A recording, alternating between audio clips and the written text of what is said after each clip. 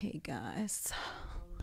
Hey, what's up, divas and divos? It's your girl Nikki. That's right, people. So, I promised you in my previous video that I would follow up with a Q&A regarding ACX and audiobook narration. So, that's what I'm doing today.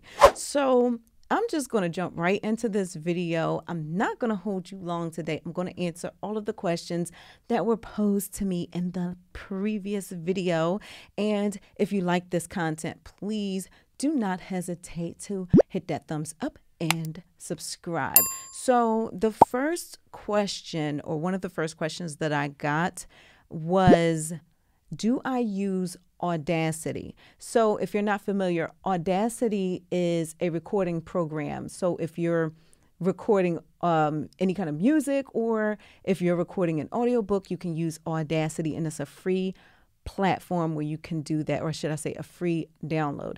And yes, I use Audacity. So, for those people that followed me from the beginning of my audiobook narration journey, you may know that in the in the first book I was using Final Cut Pro and I'm like this is not working out too good because I'm more familiar with Final Cut Pro because I do my videos with it. So I was like, okay, well, I'll just turn it into an MP3 from there. But it was actually much better to use Audacity. I moved over to Audacity during my second audiobook, which was um, Billion Dollar Baddie, the first one. And for those of you that haven't seen the previous video, I am on my third audiobook and I did one audition and I got three contracts for audiobooks. So Billion Dollar Baddie Part 2 is going to be coming out very soon. But yeah, I do use Audacity and that question, I should have said who posed that question, and it was Bo Thornton. So thank you, Bo, for submitting that question. And yes, Audacity is a great, great way to record your audio. It was actually much easier to record on Audacity versus Final Cut Pro. So I highly suggest it if you're going to get into audiobook narration. The next one is what is mastering? This is a question by Destiny Diamond. So she's asking, what is mas- mastering? And she says they always say you have to record, edit, and master your audiobook submission, but what is master? So, mastering is the finished product, is preparing the finished product. So, it is making sure your sound levels are okay. It's like basically wrapping that sound up with a big red bow. it's the sound levels, and with ACX, like I've said in previous videos, they are very, very particular about the sound. So the decibels can't be above a certain level and they can't be below a certain level. Your room noise has to be at a certain level and it can't just be dead silence in the background. So some people will try to filter out noise and just mute certain parts of their audio because if you have loud neighbors like I do, then you may have some background noise that you have to contend with. So that's why I will always mostly do my recording like when people are at work or overnight so that I'm not really getting disturbed. So yeah, mastering is just that finished product and it's just getting it ready so that when listeners are listening to your audiobook, it is making sure that it sounds great for them. So, yeah, that's what mastering is. And um, so, yeah, Destiny, thank you for that question. Um, let's move on to the next one. All right. So, um, Bo, Bo again, Bo Thornton. So he's asking any technical tips as far as submitting to ACX guidelines. Now, I'm going to tell you right now, it is very, very technical, and I'm still learning stuff. Just like I said, I've done two other audiobooks, and on my third one, I'm still learning. So don't pressure yourself when it comes to it. Like, don't be really hard on yourself because it is difficult. Because, like I said, the ACX requirements are kind of outlandish, if you ask me. But, um, but yeah. So, some of technical tips that I do have is more along the lines of consistency. So, it is for me. I had to make sure that I got that consistent sound by doing the same way for each recording session. So basically, what I mean by that is doing the same thing is making sure that my microphone is the same distance that it was the last time I sat down to record or an issue that I had was with um, with Audacity. If my microphone got unplugged and then I plugged it back in, then my settings were all wacky. So I would have to go in and make sure that my sound was at the same level because I made that mistake previously where I didn't notice that it happened. It had changed my volume to a different level than what I had previously recorded. And yeah, it just threw things off for me and I ended up having to re record some stuff. So I would say make sure you check your sound, make sure your levels are consistent throughout your book.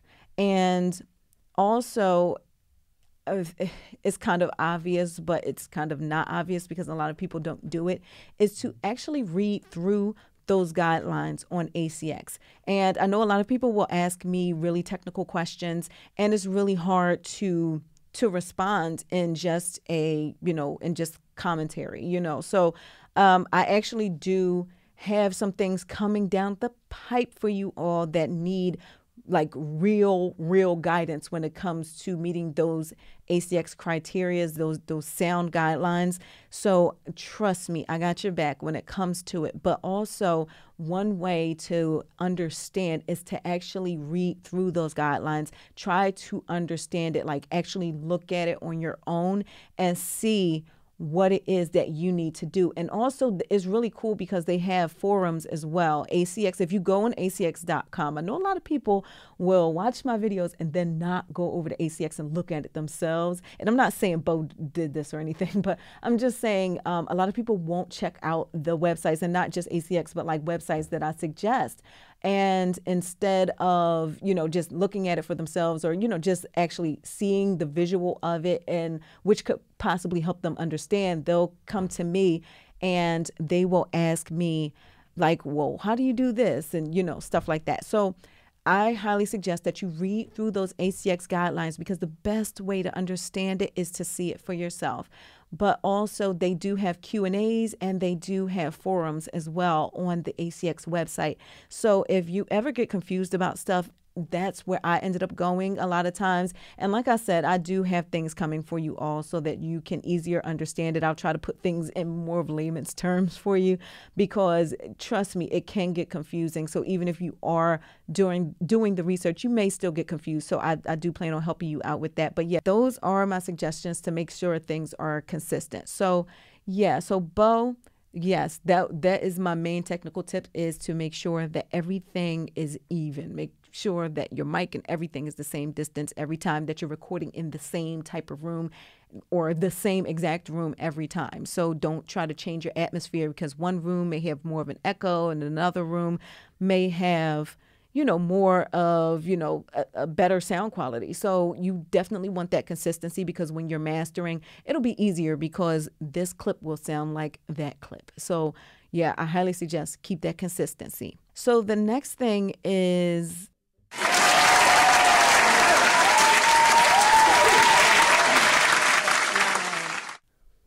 Thank you.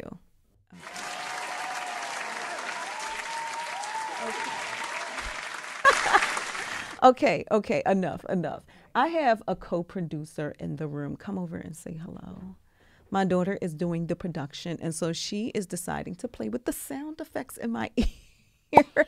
so she's over here doing applause and all kinds of stuff. So I am not particularly putting this in there. I'm not sure. I was actually doing a podcast for something else and I decided to record here.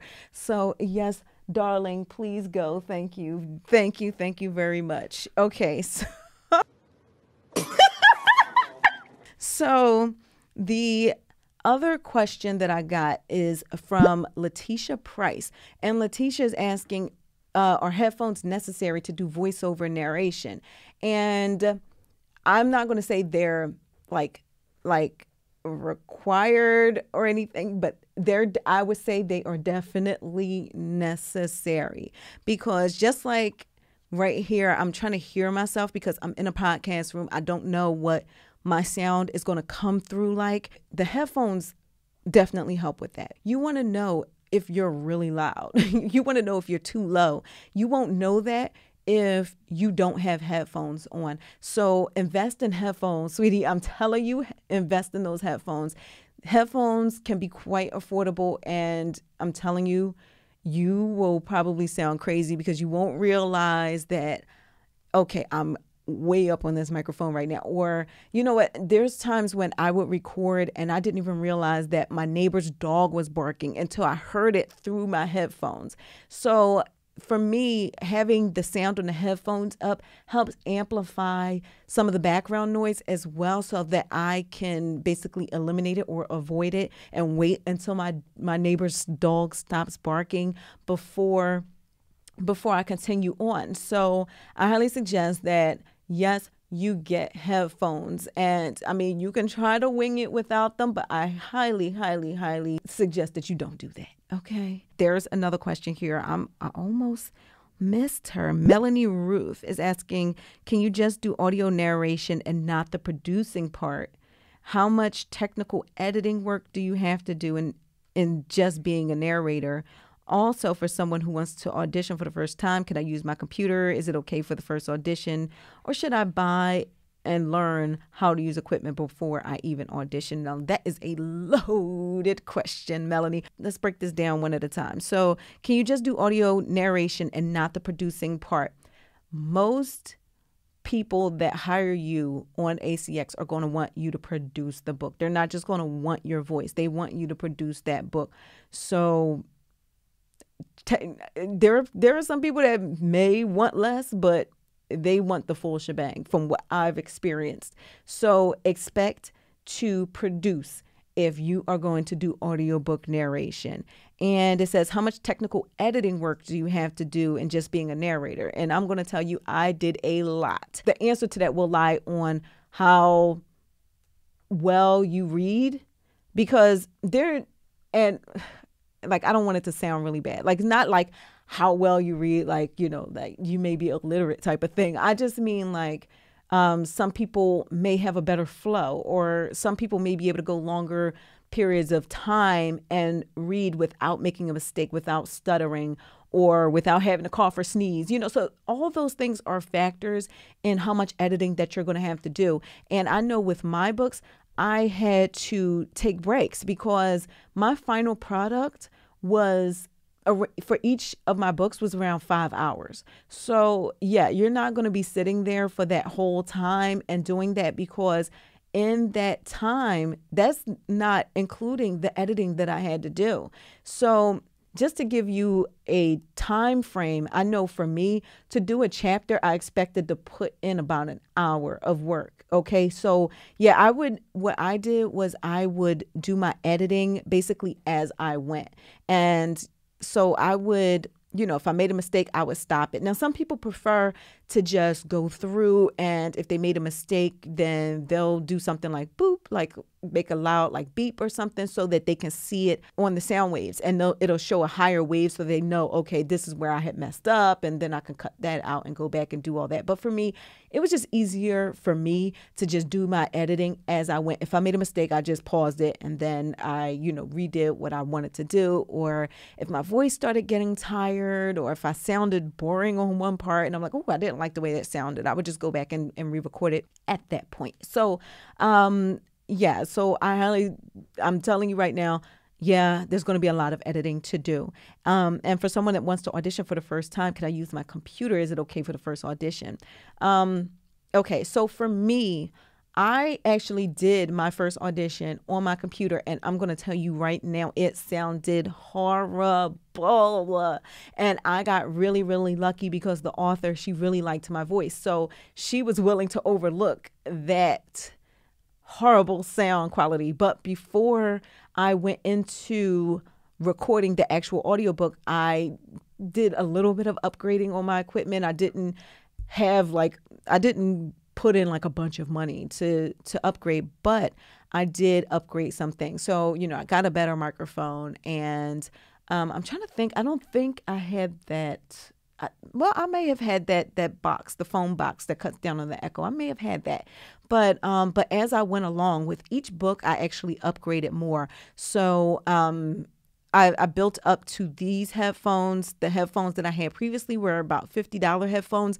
These are like $100 headphones. So each time that I went along, I did upgrade my equipment. But I'm telling you, if you want the best shot at nailing the audition, at getting an author to notice you, to notice your audition, then try to, even if you have to borrow somebody's equipment, um, just try to have some good equipment available. Okay, so um, if you all are not familiar, I do have an Amazon page. So I have a storefront. I'm an Amazon influencer. So you can go on my storefront. I'm going to link it down below. And in there, I wish I actually do have listed all of the equipment that I use as well as some equipment that I suggest. So yeah, I highly suggest that you check out my Amazon page and just check out that equipment. Speak Vision Speak asked, can I use poetry videos as a sample of my voice for ACX?